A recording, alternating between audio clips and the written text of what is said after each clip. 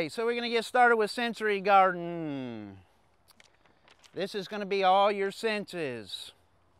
Smell, touch, taste, hearing. We're gonna do them all. You'll see on this page, I printed this out from the University of Florida. Um, this one only does touch, sound, and fragrance.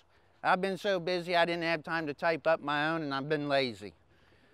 Um, but this got a little bit of great information. We're going to go over a lot of plants. I'm going to give you the information about them, how they grow, what to look for, how to take care of them. That way you can be successful in planting your sensory garden. Whether it's something that you want to taste, if it's smell, feel, there's a different garden for everybody or you can have a little bit of both. So um, the first thing I'd like to start with is where you're going to put this sensory garden. Or maybe it's just a couple of pots in your back patio. Is it going to be sun or shade?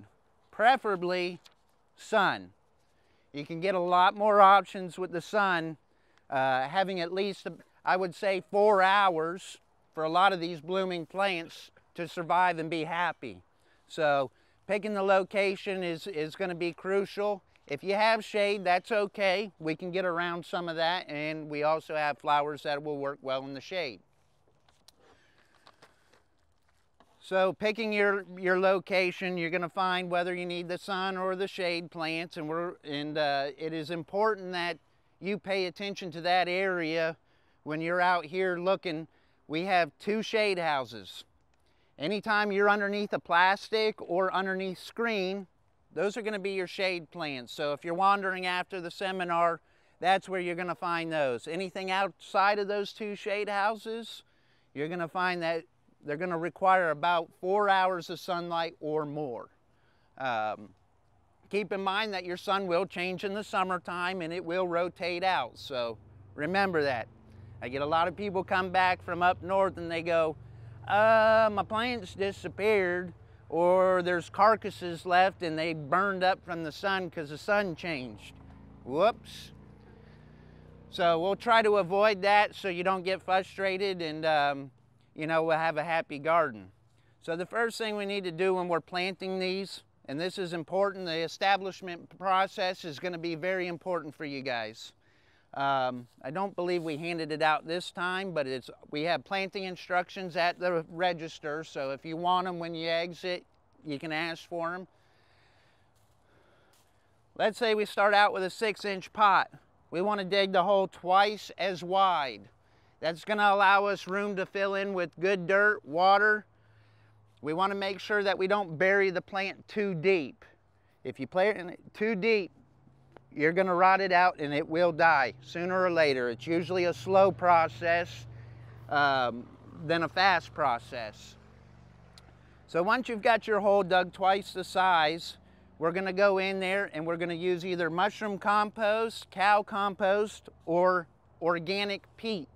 We're going to mix it half and half with the existing soil, whatever you have dug out of that hole. That's going to help hold moisture and nutrients while you guys are watering and trying to get it established. Takes about a month. You go in there, your watering pattern. Thank you, Miss Shelby. We'll see who wins the prizes. Got to be present to, to win.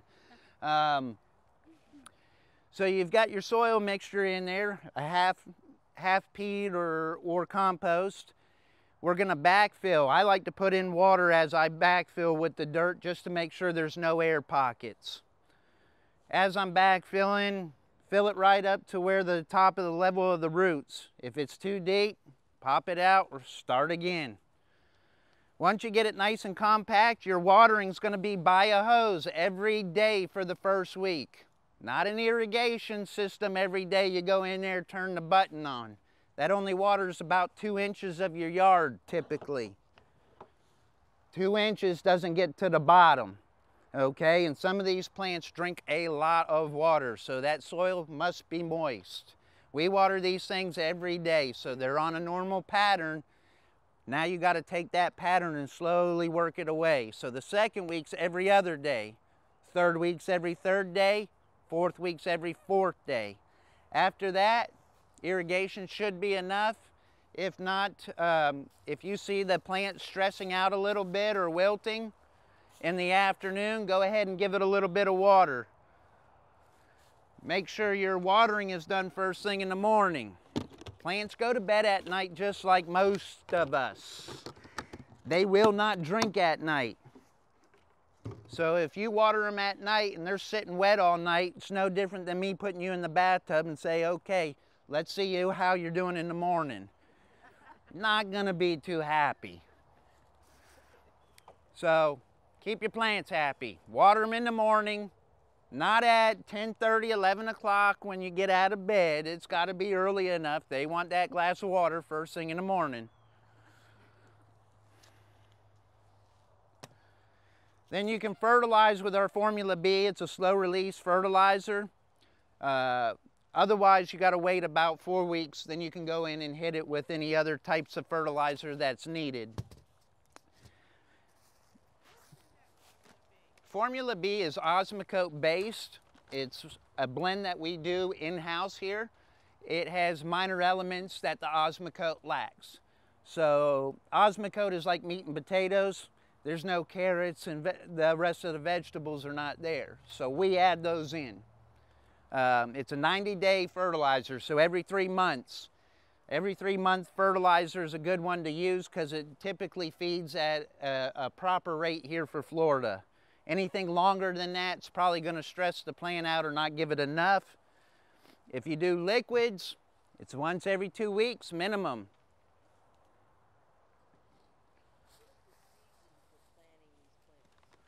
Season for planting these plants is typically here year round. Most people would say spring, March is the best month to get things in the ground. It's cool, still got some warm. We're out of the frost.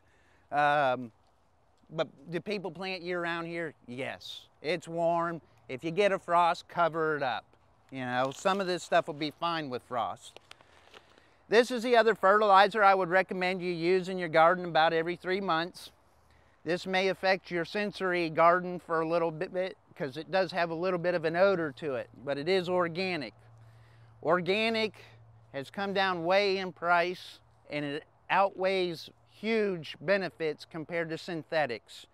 Oh, not one just for our environment, but two for me and you if you're ingesting it, uh, three for the plant. This is 100% readily available. Synthetics are 20 to 30%. Holly-tone. Oh. It, this is Holly-tone. It's got an acidic, it's an acidic fertilizer, so anything that flowers is gonna like the acidity. Uh, and that's an every three month fertilizer. You'll find on our planting instructions, we also talk about root stimulator. This will generate about 40% root growth. Uh, if you have any sick plants, you can use this as well.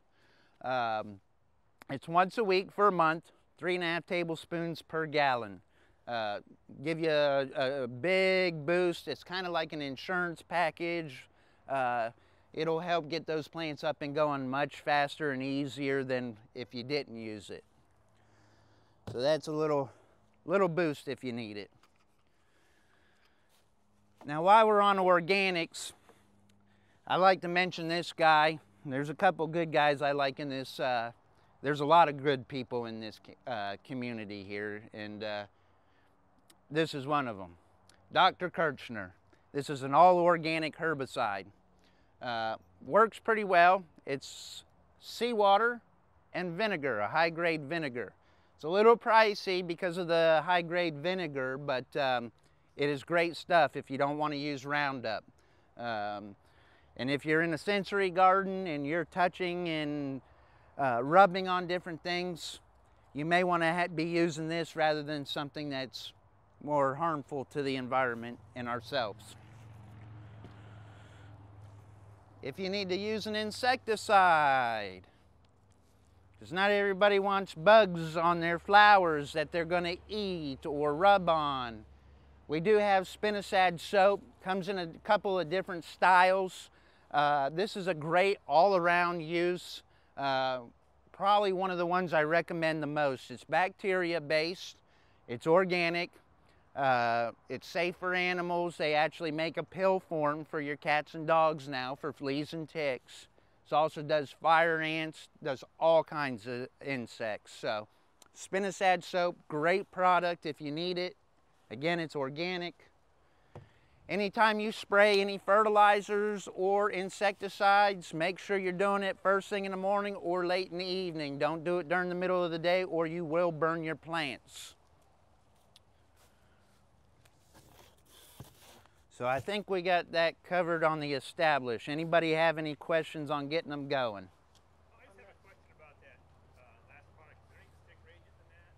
Is there any sticker agent in this? Yes, it's got soap. This one's Spinosad soap. It's got a sticker in it. Yes, ma'am. How safe is it for bees? You don't want to spray it on bees. You want to do it in the morning or in the evening. Once it's dry, it's safe. Um, we actually have a beehive here now. So, uh, have I used harsh chemicals in the past? Yes, when I needed it. But do I use them eh, if I can help it? Nine times out of 10. Uh, I've, I've thrown stuff away so I don't have to spray because I've lived here all my life. I've fished this river all my life and I know that things have changed around here and we got to do our part to kind of protect our environment here and kind of smarten up a little bit. So uh, I'm glad to have the bees, um, you know, and I'm happy to be a part of this nursery. So we're trying to do our best. We got a full line of organics now. Um, so, like, uh, yes. A question about the watering. If you're uh, planting during the, if it's raining, you never know when it's going to rain. If it's raining, yeah, you have to judge that. I mean, that's, you know, you're better off to go out there and add water than to say that little light sprinkle was enough because it might not have been. You know, if you get a heavy downpour, chances are you're not going to need the water. So you just kind of have to watch that. No there is a chance of overwatering, but you know, you're taking water away. You know, chances are, unless you're watering every day for weeks and weeks and weeks, you shouldn't be overwatering to, to a degree. Yeah. Um, all right, you guys ready to get into the plants?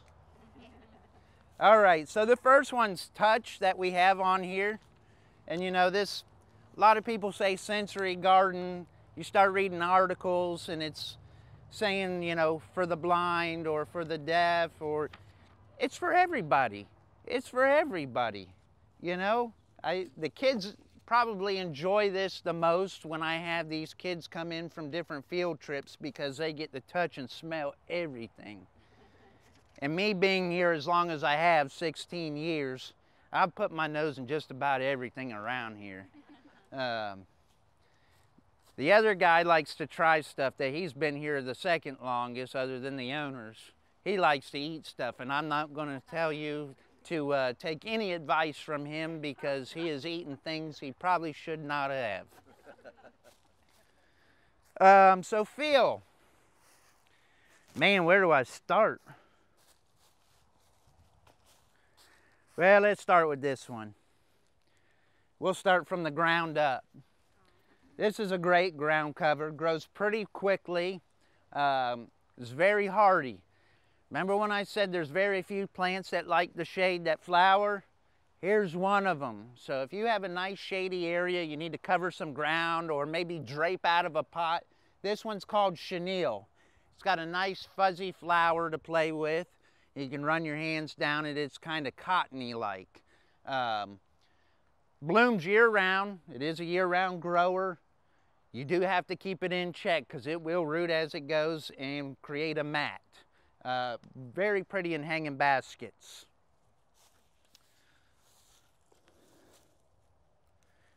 When the seminar's over, you guys can go find all these plants or come up here and play with them if you want. This one here is lamb's ear. You probably know this one more up north than you do down here if you're uh, a Florida person, but lamb's ear, I've got a grower that's been growing it for a couple years now, and these leaves, as it gets bigger, will get much, much larger. This is a shade grower, and I'm gonna tell you, it's a little tricky to get it to go over through the summer because they do not like the humidity that Florida has. They do not like the pouring rain in the summertime that Florida has. And it has partly to do with that velvety leaf. Now this time of year they like it because we're not, it's not raining every day. The cool days don't bring as much humidity. And uh, last year we had one that was probably about this tall, nice and big and round, and the ears or the leaves on them were like this. But these are very um, soft and kind of almost velvety. So it is a, a, a fun one to kind of rub on. Now when you're picking these plants to feel and touch, put a variety of different things in that area so you can kind of go and bounce around from different things. Um, like this one for instance, that one was nice and soft. This one is a cardboard palm. You've probably seen a lot of these around town. They're very tropical, very easy to grow. They like it on the dry side. And if you feel these leaves, they get its name cardboard palm from the cardboard. They got that cardboard feeling very stiff. These will get up around four to six feet. They like the sun. Uh, they will also handle the shade as well. They're very slow growing though. So keep that in mind.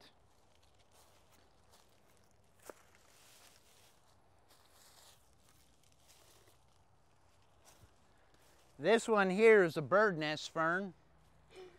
Maybe uh, you need to go indoors. Maybe you don't want to go outside in the hot heat and you just want a couple little plants inside your house that you can do. Well, this would be one of them, okay? Or if you have a really nice, dense, shady area. This bird nest fern's got a nice uh, texture to it that's got a nice wrinkly leaf to it. Um, so it's kind of different. Uh, again, it can be used as a house plant or you can use it outside, but it must be in the shade. Any direct sunlight will burn this up in the summertime in a hurry. Um, these can get upwards to three feet, and there's a lot of different varieties of bird nest fern. It is a slow grower, and it likes it semi-moist. Keep in mind, if you're gonna keep any of these plants in pots, that you make sure you let them drain and dry before you re-water. You talked about overwatering. In pots, it's very easy to overwater because we soak it down. We don't want it to go dry because one day of dryness could hurt it.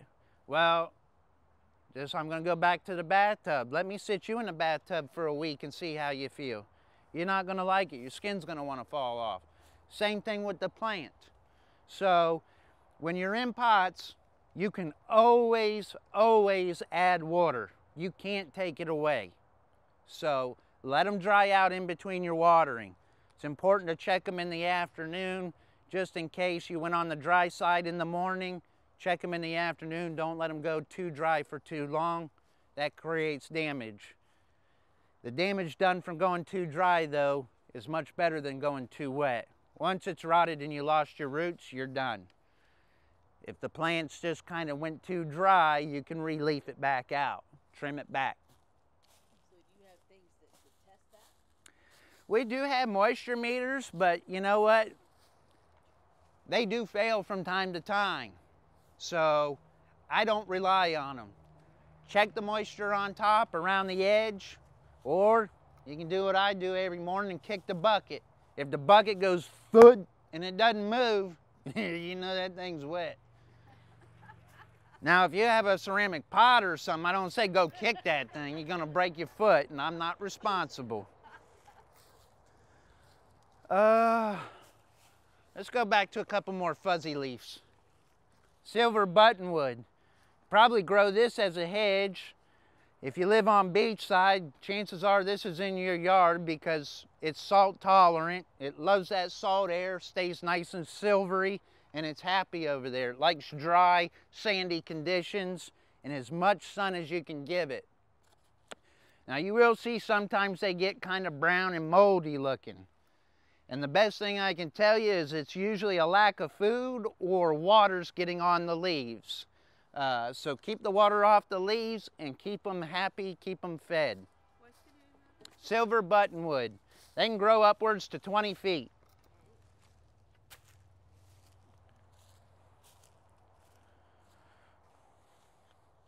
Got another nice silvery foliage. This one's gonna like it in the shade. It'll also tolerate full sun during the winter months. During the summer months though, I would suggest you maybe down to half sun uh, or pure shade. This is a ground cover called licorice. You can also use it in hanging baskets. So if you don't have enough yard and you need to go upwards, we can do that too. Uh, this is, uh, again, licorice. Comes in a lot of different uh, styles, but this particular one is a ground cover or cascader. Works great in pots, breaking up the uh, sides of the pots. No, not edible, smelling like licorice. It just gets the name licorice plant. Um, so no, don't eat that.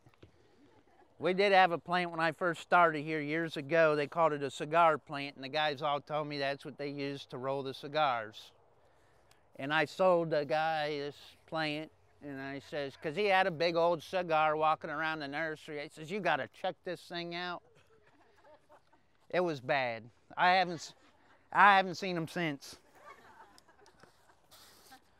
I don't believe everything that people tell you. A lot of this is all opinion or guidelines when I tell you these heights, so don't come to me next year and say, well, you said it was gonna grow six feet and it got seven. There's a lot of guidelines in this business. This one here is Texas sage. Um, it's a great plant. I've seen it used on berms and sandy areas. Uh, where it's uh, native to, uh, Texas. It grows in the ground where there's cracks in the ground. They like it on the dry side. Do not keep them too wet. Otherwise you'll end up with a very sparse plant. But this is another one that you can kind of touch and feel is very soft. Um, so beautiful purple flower on and off all year long.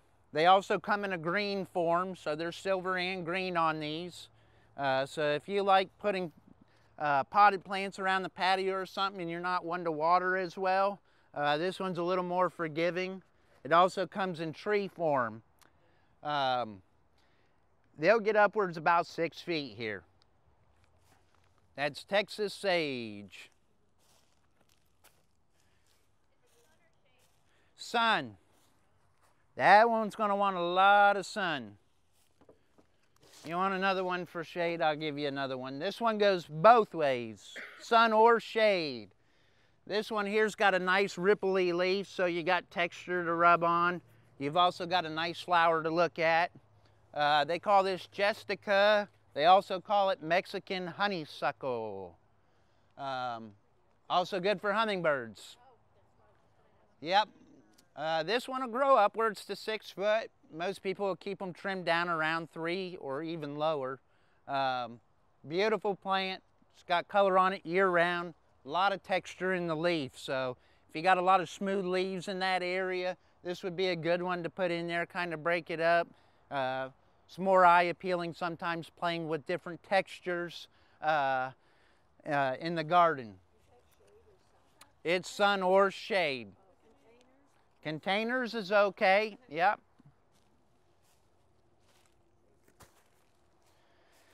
Any of this stuff can really grow in pots. You just got to keep in mind, the longer it sits in that pot and the happier it is, the more root bound it's going to become.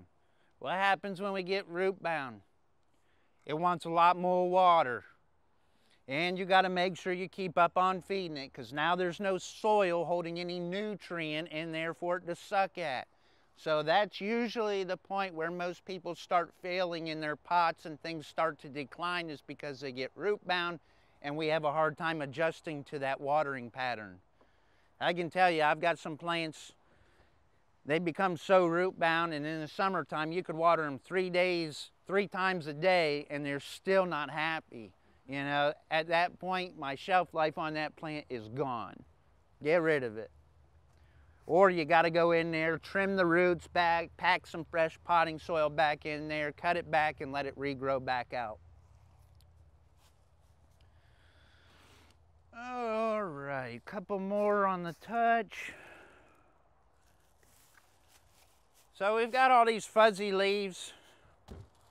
How about some waxy leaves? Well, this one here is um, Clusia. It'll grow in the sun or the shade.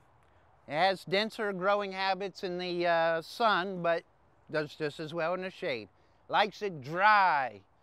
Um, this one here you can use as a hedge. You could use it as a tree. Uh, again, likes it on the drier side. It's also known as signature plant. You can go in there, take a pencil or a pen, put your name, leave a message, and it'll stay on the bush. You can put it by your front door and everybody can write their name in it. Clusia, C-L-U-S-S-I-A.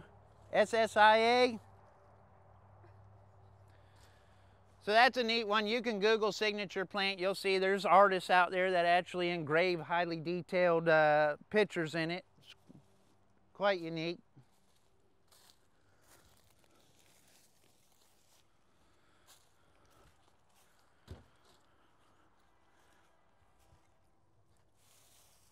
Things you should probably avoid. One of the guys says, oh, you need one of these for the touch. I says, yeah. This is make a good billy club. Keep in mind what you're using your garden for. Obviously, if it's for the blind, don't put that in there. You know? Something like this would be a little more appropriate. Okay, it's, it is a little kind of different texture for most people. It's a little more spiky. When you touch it, it kind of sometimes will either irritate your skin or if you have rough hands like myself, it just kind of feels rough. Um, touching these different things, if you have your eyes closed and you're enjoying and relaxing, or maybe you had a cocktail, uh, you know, these different feelings as you're touching them, those different senses, you may want to touch this after all that nice softness or do this one first and then you touch that soft and go, ah.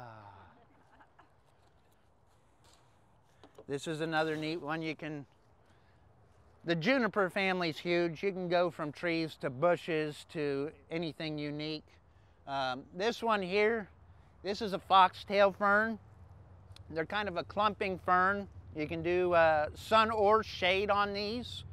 They typically get around two feet at the most, kind of bushy.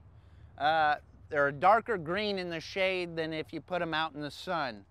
But talk about a tough plant. This one here, if you tend to go away for a week at a time, this one probably still gonna be there uh, if you don't water it. It holds a lot of moisture. This thing probably weighs 25 pounds right now. Um, half the plants will be half the weight of that.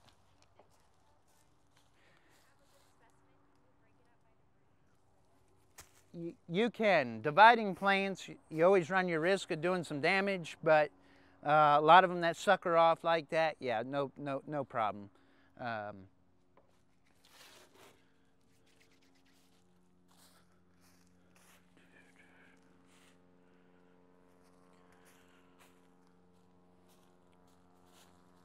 All right, we did the cardboard palm. This one's kind of fun.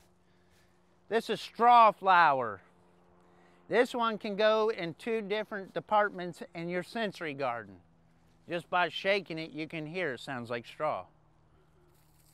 You touch it, it feels like straw. It's very papery. Uh, this is called straw flower. Used as an annual here.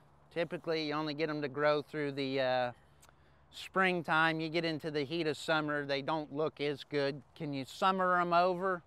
Sure. You'd have to baby it probably in the shade, but this one likes the sun uh, and does like it on the drier side. Um, straw, straw flower comes in all different colors. Um, we've got a ton of them right now, but uh, great potted plant or even in the ground as an annual, just some extra color. But uh, that's a fun one.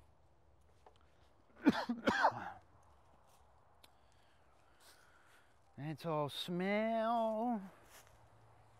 All right.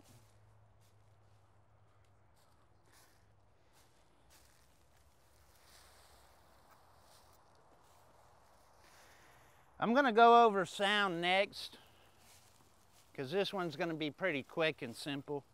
And then we get into the smell and we're going to go crazy.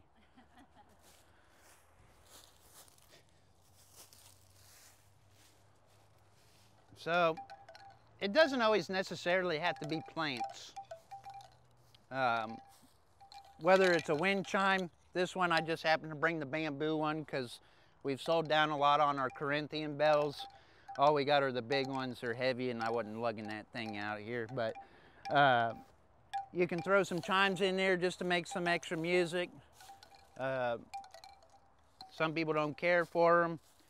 There's a few different things that you can get sound out of the garden. It's going to be harder with plants than it is with added mechanisms like the wind chimes. Maybe you want a water feature, you know, you've got your bench that you're sitting underneath a nice pergola for a little bit of shade. You want to hear that water splashing. We have simple do-it-yourself pump kits inside the store where you can just take a regular pot. It comes with everything you need. It'll plug the hole it's got a light in it and you can bubble out or trickle into a pot. Works really nicely for making noise. Otherwise, you could purchase a fountain or anything like that. Um, another way to uh, get sound is attract some of the wildlife. You know, put up a bird feeder uh, or provide plants that may bring in the birds. I've got one right now. He comes every year. I'm pretty sure it's the same bird because I swear he mocks me every morning. You know, and he's sitting there beeping at me and everything else while I'm trying to get ready. Well, I enjoy them the days I get to have my cup of coffee. Other than that, it's. You're going to ask me that. I'm not a bird specialist, but I don't know. He's in a tree. I can't see them. I go to bed, I go to work at night and I, I, I come home at night.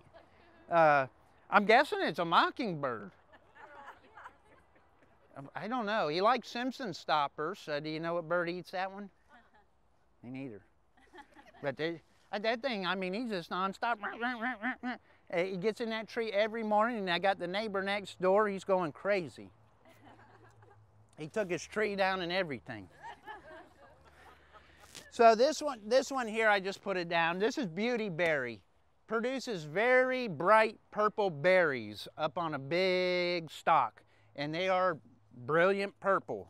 They're very pretty. Tracks the birds. Uh, this plant is a native, gets up to six foot, likes the sun. Uh, you could also plant Simpson stopper. I have two of those in my yard uh, kind of as a specimen and they come in there and gobble up the berries and then go back up into my oak tree and squawk at me. So, you know, you can attract them that way to make some noise.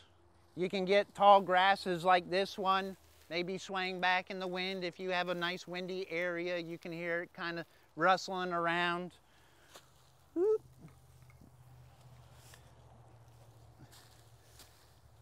going to tell you a story about this one. I Wish I had a big projector and I could put it on here for you, but there are a few plants that make noise. Bamboo is one of the fastest growing plants out there. They say you can sit out there at night and listen to that thing creak and crack as it grows up. And you literally are hearing it grow. During the day, you can hear it clanking back and forth, the leaves wrestling back and forth, and it provides its own mulch. I really don't carry bamboo anymore, but if you're interested in bamboo, uh, there's a couple good local people here that grow it. Uh, if not, you can special request it, but I am going to tell you it is expensive, and I only special order it occasionally. Um, it's like surgery for the growers, so it, it's, it's not cheap anymore like it used to be. This plant here Mm, probably 14, 13 years ago. I get, I get this call on the radio while I'm up there watering in the morning. You gotta get back here, you gotta get back here. So what's going on? He says, you gotta get back here. We used to have a kid named Brandon and he watered the back greenhouse and it was summertime. And he sprayed this down nice and wet like he's told to do every morning and it started shooting seeds out like popcorn. and you could hear it just click, click, click, click, click, and they're shooting everywhere. And I have it on my phone. I've videotaped it. So every summer, the guys are out here when the heat's just right. They go and water it down and cool it off, and bang, bang, bang, bang, bang, they're shooting everywhere. And they come out with force.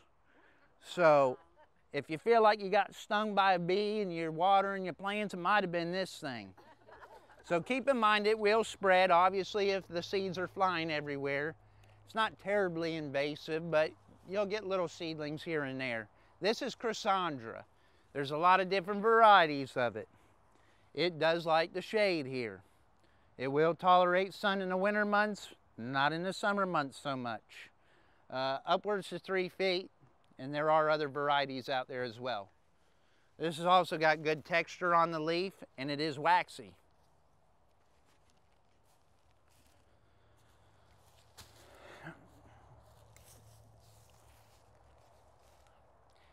There's probably other ideas out there to get sound in the uh, in the garden. They probably have rain rain gauges or chains and different things that may make different sounds, but those are the ones I got for you today. Now, I almost forgot this one. I'm being very gentle and easy with it because I don't want it to do it right away. But this is mimosa plant. They have several different breeds. This is the ground cover. And this one, I mean, the kids just, uh, they love it. This one here, being the ground cover or a cascader, it likes full sun. It'll probably grow in the shade just as well. It's very hardy and it does grow fast. Gets a little lavender flower, looks like a puffball from Dr. Seuss. When you touch this, now you look, it, pay attention to the texture of the plant. You got it? Can everybody see it? Those leaves are pretty much wide open. They closed right up. So that's something you can see and feel.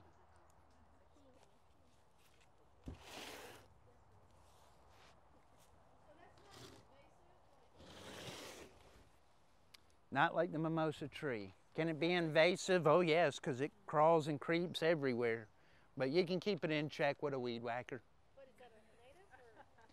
Um, I don't know. I don't know. I don't. Well, actually, this one might be the native. I would have to double check. I don't know if it's more. I, I want to say it's this variety, but a lot of times we um, we get hybridized varieties so they're not uh, as invasive or intrusive, you know, like our Gaillardia. You know, everybody wants the native one, but until they get it and actually have it in their yard, sometimes they regret it, you know. So the growers have manipulated these things that way. All right. Smell. So fragrance. You guys want to start with the stinky stuff or the good smelling stuff? Stinky. All right. All right. This one here. the landscapers, if you have this in your yard and your landscaper cuts this thing first thing in the morning, he's the you're the one that he's crying to me about. Okay? Because it smells like wet dog and he's got to smell like that all day. Okay? This is Viburnum suspensum. They also have Viburnum odoratissimum. Uh, it's got an odor to it. Some people like it, most people don't. So when you're trimming this or smelling it in the morning, mm, if you've had enough of that sweet fragrance and you, you know, you need that smell, or you just can't stand your neighbor over there on the side yard in the morning drinking his coffee, peeking through your shadow box fence, you put these there. Hmm. make sure he's not here today.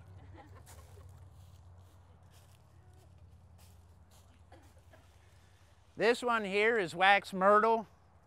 This one uh, is a native here. It has a lot of different uses for it. Um, old farmer told me if you uh, plant this, it actually repels uh, fleas and ticks. And when you break it up, it's got kind of a, I don't know, citrusy kind of flavor. It's different. So this one, I mean, you guys can come up here and smell all this stuff later, but this is a great bush. Also, the wildlife likes it. Obviously, if it's a native, uh, they're familiar with it. It's a good bush for the birds to hide out in, hang out. Um, but wax myrtle, you can grow it as a hedge. You can do a multi-branch tree. Uh, there's a lot of different uses you can do. They will grow upwards 15 feet plus. It puts off a flower, but it's really not significant. You're not going to see it or notice it half the time. Sun. If you put it in the shade, it's going to get stretched out, little leggy. All right, let me see if I can find anything else that doesn't smell good. I don't have too many of those. Ah, we'll go with this one. This one's Society Garlic. So if you like that garlic smell and want something kind of pretty in there, this produces a purple flower. Likes again the uh, four hours of sunlight at least. It will multiply but kind of stays in a clump. Um, and it does smell like garlic, especially in the morning or at night is when it's really going to put off its odors. Uh, I love weeding and cleaning them because drives my wife nuts for a day or two because she, where's that smell coming from? It doesn't wash off the hands very easy.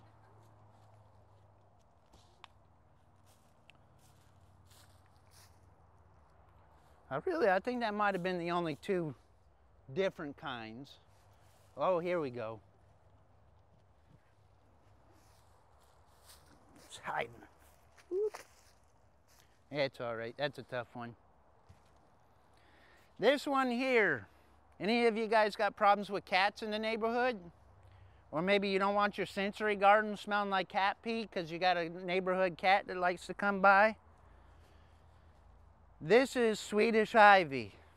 Cats do not like the smell of this, so it will repel them. Um, you can come up here and rub on it. It does have an odor. Some people really like it. Some people hate it. It depends on the person. Uh, it's got kind of a different type of leaf too, so you can feel the texture on it. It's kind of stiff, um, but does have a little, little texture to play with. Um, and you will pick up definitely an odor on this. This is used for a ground cover or a hanging basket uh, or even a trailer down the side of your pot. This one likes mainly shade, can take some sun, morning sun, a little bit of afternoon sun, but preferably not all day. Swedish ivy, also known as candle plant.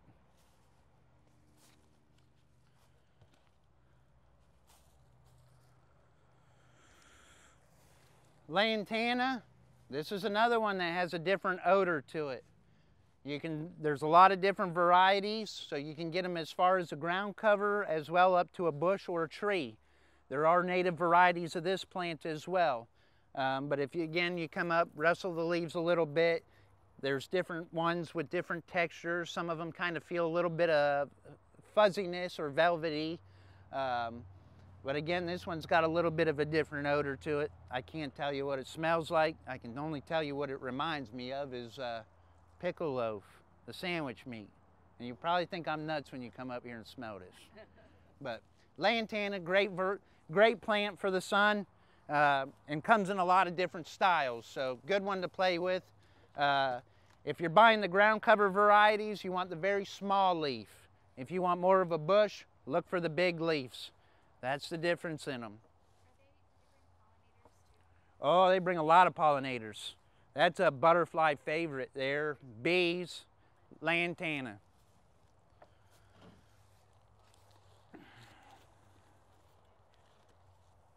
I'm sorry? Sun? sun? oh, yes, yes. At least four hours. So we got a few herbs here. Obviously rosemary, great smell. Uh, very easy to grow. You can grow it in a little bit of shade, but really likes as much sun as you can give it. Uh, and we'll take it on the drier side. Uh, This is usually the last thing standing in our vegetable garden in the summer after we've given up and haven't had time to care for it. That one's still there crawling all over the place. There is a ton of different varieties. You can get it barbecue flavored, uh, you can get upright, you can get the ones that crawl on the ground. There's just, there's endless on this one. And it is one that's appreciated in the sensory garden a lot.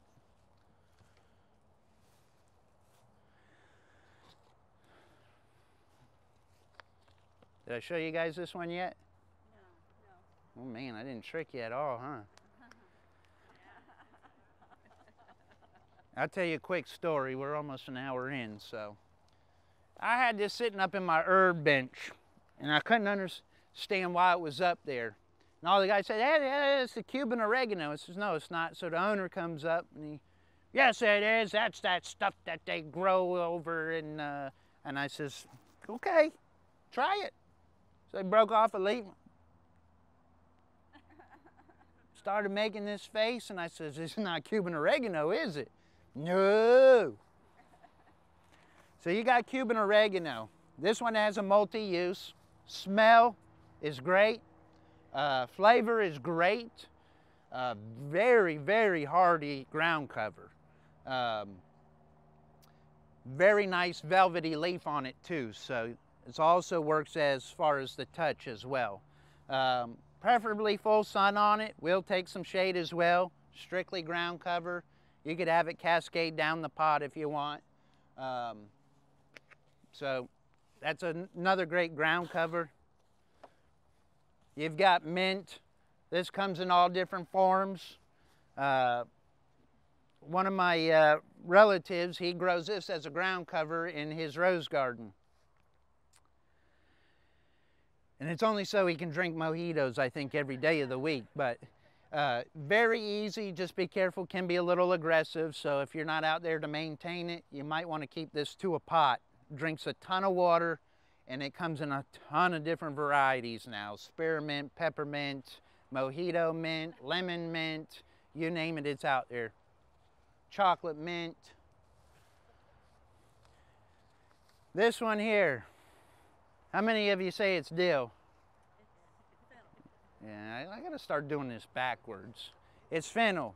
And the way you can tell if you're out there buying your herbs, crack a piece off, wrinkle a little bit up. I don't care if you do it. You gotta do it to figure out what it is sometimes because they got a million seeds sometimes or it's so young you can't tell. Break it up, smell it. You like licorice? No. Okay, well then don't smell this one because fennel smells like licorice, all right? It's a sure sign, tell you right there.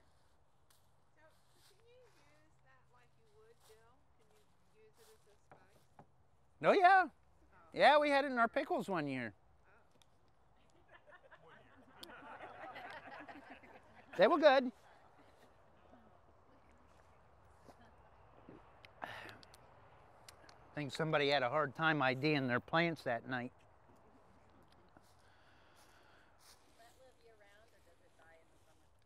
No, it lives year round.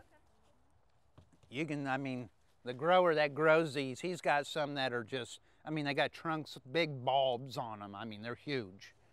So it's, you can keep them going. Basil, a lot of different varieties of basil out there. I'm gonna tell you the one that everybody prefers to make pesto out of. It's hard to grow here. There's a lot of disease issues with it. Um, you know, it's just the way of the times. Uh, new diseases, stronger strands.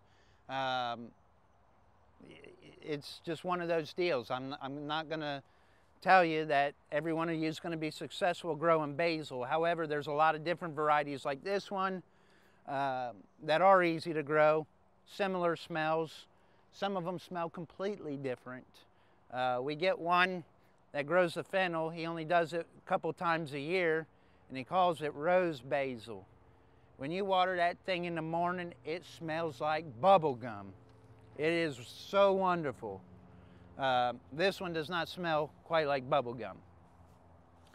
That'll bring in a bunch of pollinators as well, so you'll get that sound of the bees humming in and out. Um, if you want to get into the sweet smells, Next, let's do these real quick and then we'll get into the real sweet stuff.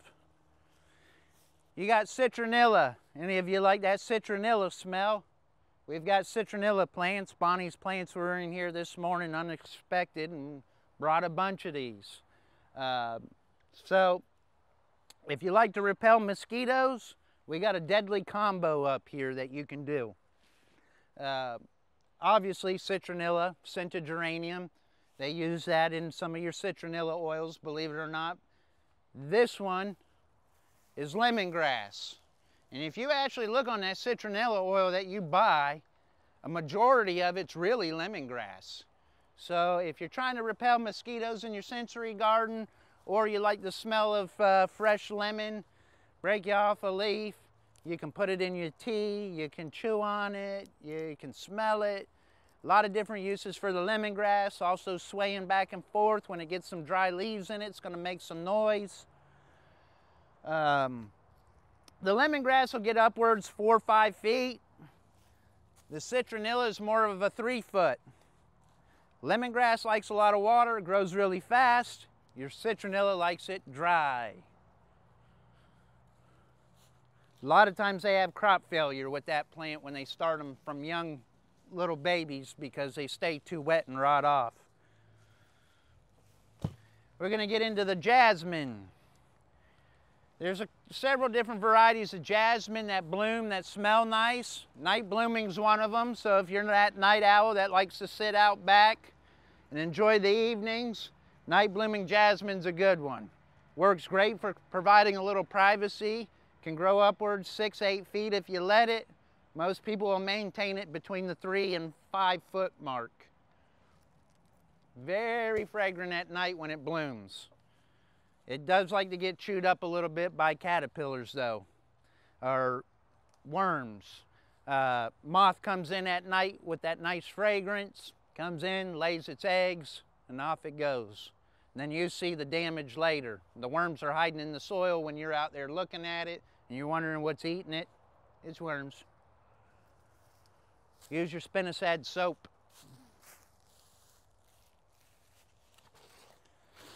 This is the other jasmine that smells. This is Confederate jasmine. It's best grown in the sun at least four hours for a good heavy production of bloom, but will tolerate some shade as well. Very fast growing. Blooms in the spring and in the fall pretty heavy, little sporadic through the summertime.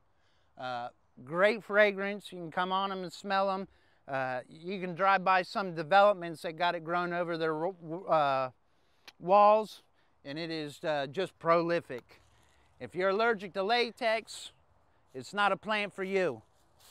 It contains high amount of latex, so if you touch it, you break it, and it starts sapping that white milky sap, and you get it on you, it's gonna burn your skin.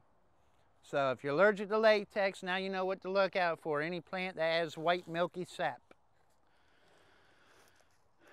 There is another variety of jasmine out there that's really fragrant. They no longer carry it anymore due to the fact of greening in the citrus industry, but it's called orange jasmine, mock jasmine. Uh, there's a lot of different names for it. Lakeview jasmine. So some of you, if you have older homes, probably have some of that in your yard. If you don't, sorry, wish you did, because it's a wonderful plant.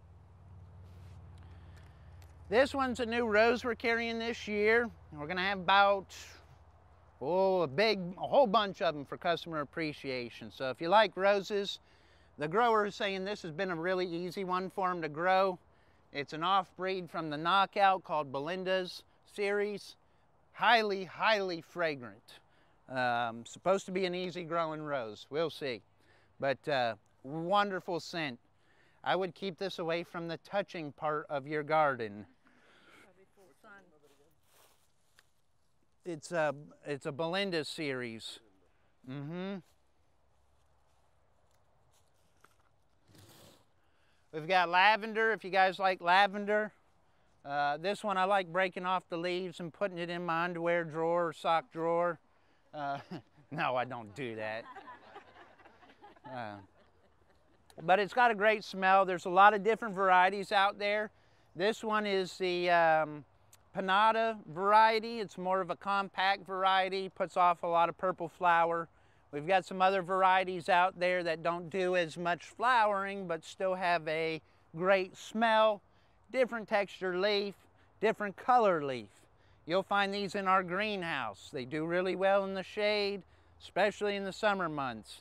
You can have them out in the sun during the cooler months, but remember, come summertime, that's going to be one that's going to start crying out in the full sun. It's like one of some of my employees when summer comes. Another fragrant one is Buddleia, great for butterflies if you want to bring in some of that uh, butterfly attractor. Uh, wonderful scent on it. It's a very light scent, so if you, you know, gardenia's too much for you, the jasmine's too much, this is a very soft smell. Um, of course, mine are all out of bloom right now, and I ordered some more, and they're quite haven't come into bloom, so that's all you get. But they come in uh, a big variety of sizes, colors. Right now, all we got is the full growing size that's going to get upwards six, eight feet, no problem. It's all right as long as it's up there. If you hear something wrestling back here and big, get ready to get on your chair. We have a 500 pound pig out back that became a pet when it was about five pounds and it came from here and squeezed its way through the fence.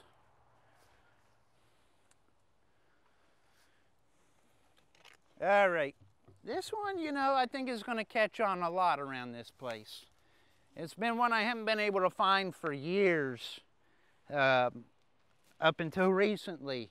And there's several different flavors of this one, but this is what they call a gardenia Tahitian. Okay, it comes in a double and a regular. You'll see in our inventory, the doubles have a different texture leaf, much darker, happier looking plant. The other ones do just as well. They're not quite as dark green. The flower's a little smaller. We also have tree form of these. They are highly salt tolerant. So if you're on the river or beach, this is the only gardenia you're probably going to be able to grow because the other ones are not salt tolerant. Tahitian gardenia. And it can grow in the ground or in a pot. Very fragrant, blooms year round. They'll grow upwards of six, eight feet. Now you go back to another type of gardenia. This is what they call a non-grafted gardenia. You will notice there's multiple branches going down into the soil. This can only grow in a pot, and these prefer more shade than sun. Will they handle full sun? Yes. They're only going to get about three, four feet. That's where you should probably keep them. Any taller than that, they kind of get stretched out. Um, great scent, but it's got to stay in a pot. If you want to plant gardenia in the ground other than the Tahitian, you must request grafted. It'll have a single trunk coming up and then it'll bush out. Don't worry about the single trunk. You can hide that eventually as you trim on it and it gets fuller and the trunk disappears.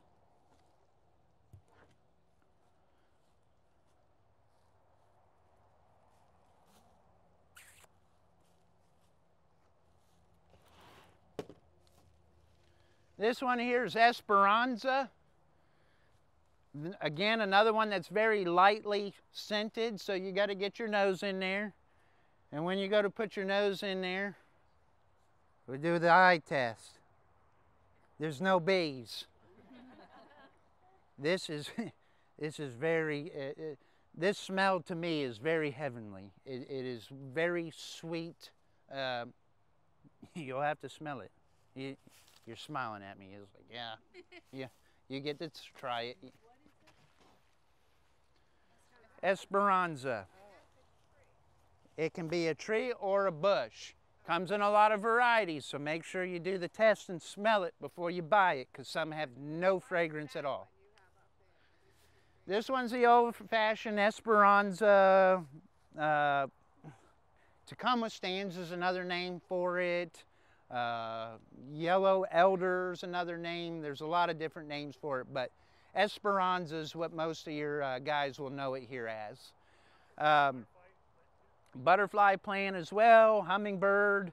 Um, do not eat the green beans on there, they are not edible. Tree flowers on and off throughout the year.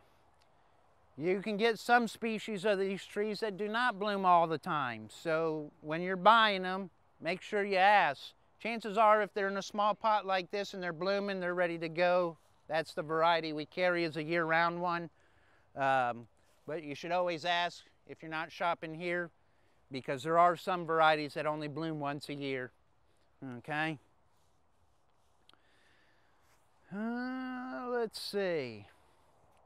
Now I brought a few other flowers out here. I mean, taste is another sense that we have. Obviously, we all eat food here today. We all pretty much know our spices at this point in time. However, let's say you want to wow your girlfriend, fiance, boyfriend, whatever, your special guest that just came in that you haven't seen in 20 years and you got this nice filet mignon or whatever, barbecue ribs, whatever you want, and you want to dress the plate up with some flowers, you would not believe how many different flowers you can eat. Now I'm going to tell you, don't eat any of my flowers today.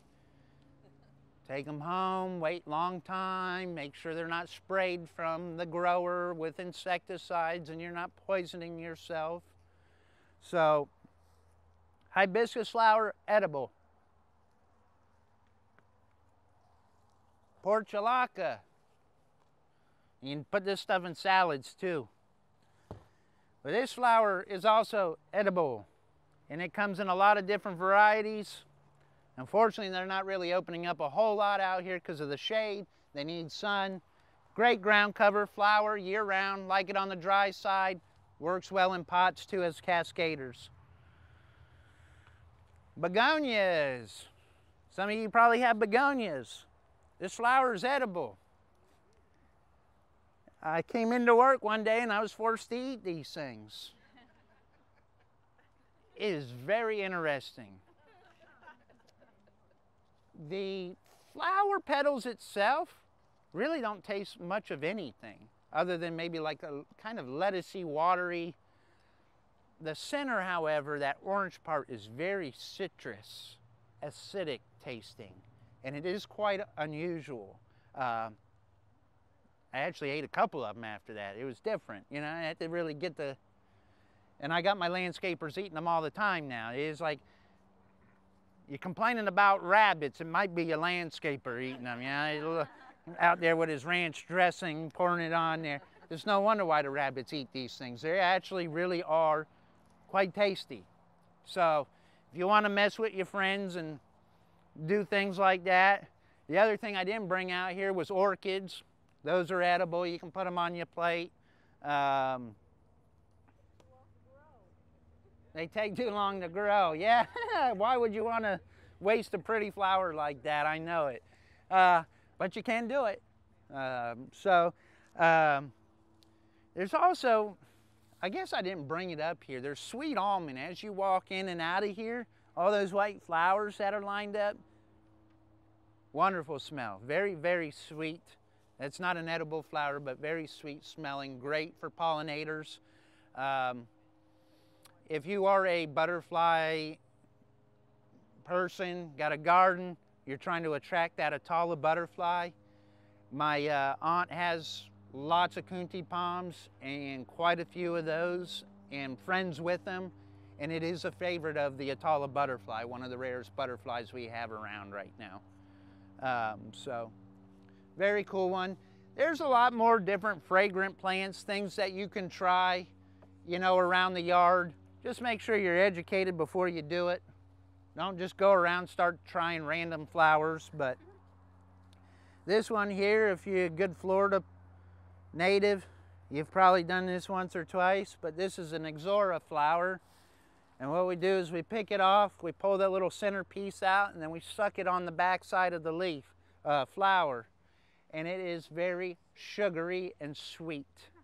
Um, so if you like that little quick sweet taste while you're walking by, going to grab a tomato or something, this is uh, this is a good one. You know, you can pull nectar out of it and you can see why butterflies and hummingbirds and different species like to suck the nectar out of flowers.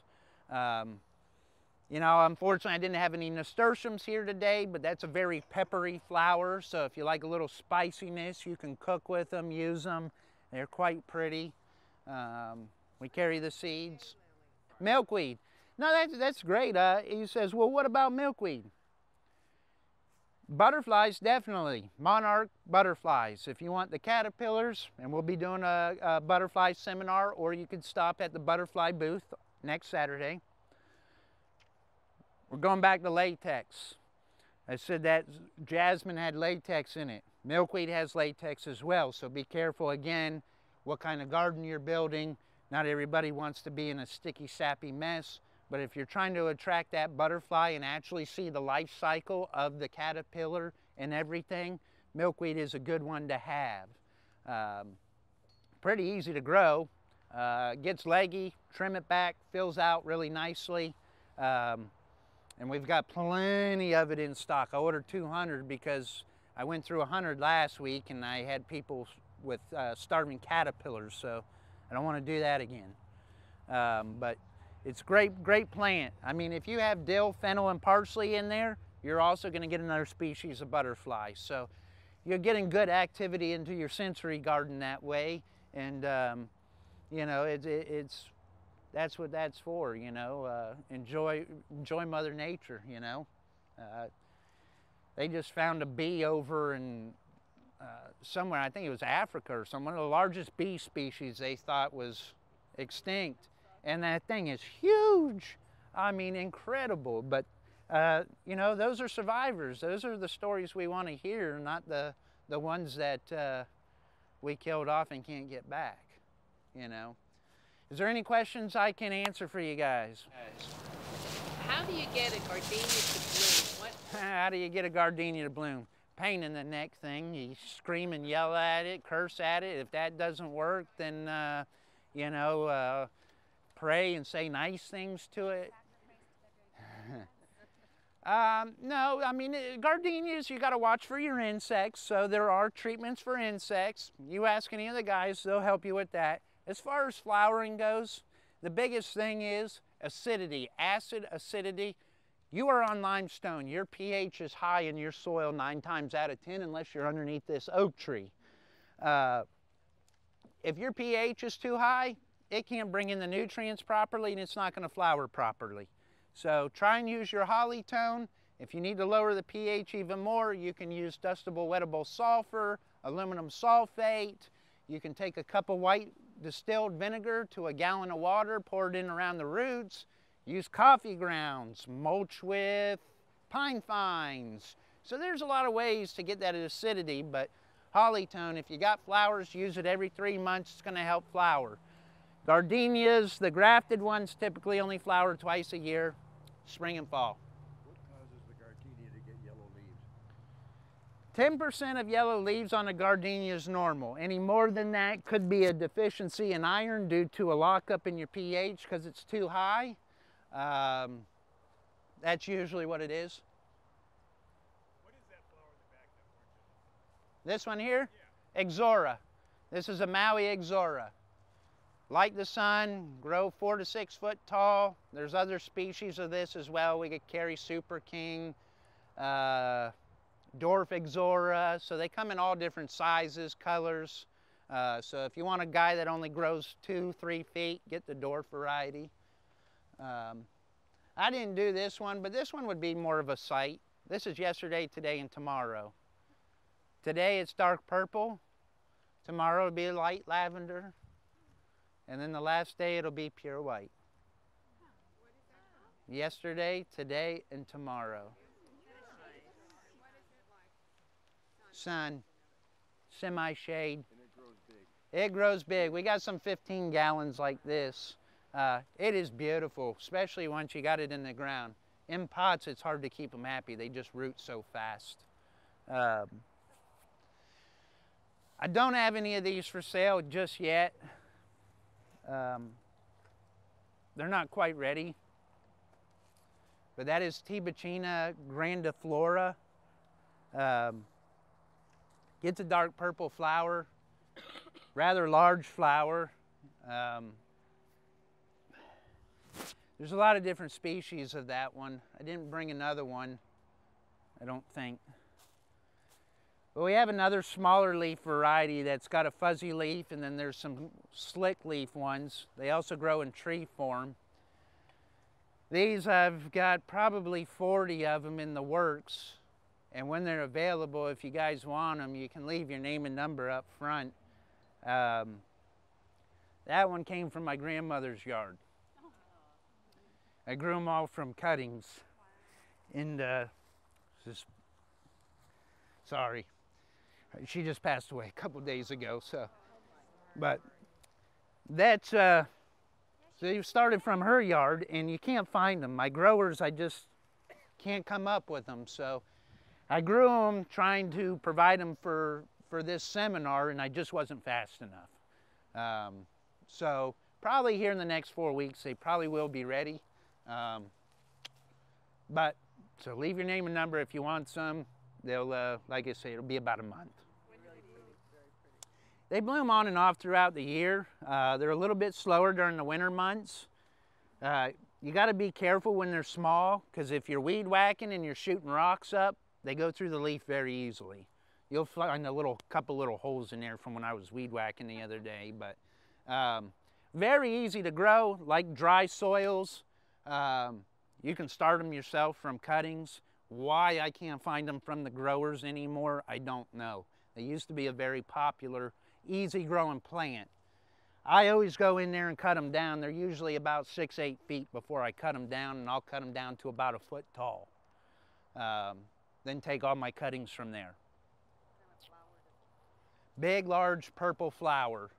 I wish I had brought the tree or the other bush out. I had it in the golf cart and I think probably the guys put it away, but it's a large purple flower about like that. Comes off a big purple flower spike. Um, very pretty. Tibouchina grandiflora. Yep, it's a big variety. You'll find that's a huge, huge family. We've got them from dwarf, they only get about three feet, all the way up to this one or even trees that grow up to about 25 feet. They typically like half sun, half shade. Um, one of these is growing in full sun, the other one's growing in pretty much all day shade, and they're both just as happy. Dry soil. You know, I don't remember you saying anything about that little spiny. Well, you guys don't miss, you guys don't miss nothing, do you? All right. Then I'm gonna do questions. We'll get you guys out of here. Some, some of these guys gotta go, so.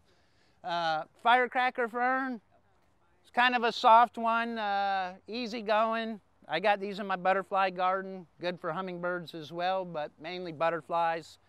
This one will grow upwards four to five feet tall, nice and bushy. When it gets too big, cut it about three inches off the ground and come back like a brand new baby. Uh, at least four hours of sun. Mine are half day.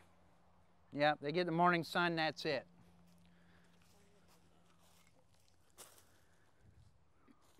That comes in a yellow variety as well. Red's definitely the hardiest of them. But I see you don't carry it. What Neem oil, I carry it. It's organic, but you got to be careful with oil-based products. They are more apt to burn and hurt things than non-organic. That fuzzy leaf Tibouchina, if you spray neem oil on it, you can kiss every leaf goodbye on it because it's not going to be happy. It's got to be a waxy leaf to use oil. So that's why I recommend the spinosad soap. Very, very invasive and very effective. All right, let's do the raffle. And if you guys got questions, come up and see me.